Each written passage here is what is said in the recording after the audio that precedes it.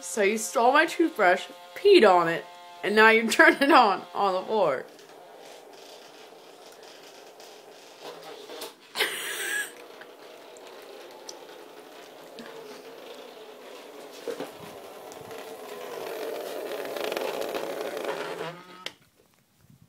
Thanks.